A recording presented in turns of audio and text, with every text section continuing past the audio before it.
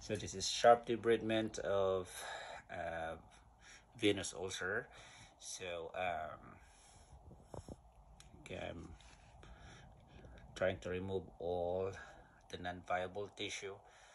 And be very very careful uh, because the slough, the non-viable tissues here are admixed with the good cells. With I mean, not cells the tissue because you cannot see cells in your naked eye. So I'm using scalpel. I'm doing a layer debridement here and order to expose uh, all the good uh, granulation tissue beneath the slough. If we don't remove this slough, these are the barriers for reepithelialization.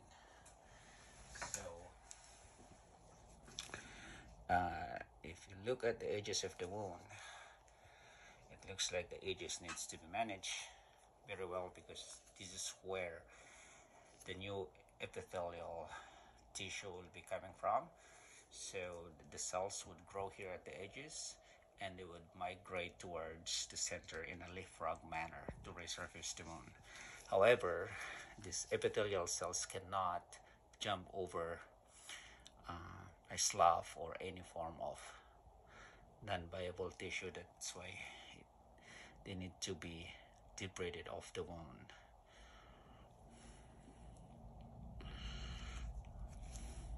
Okay. All right.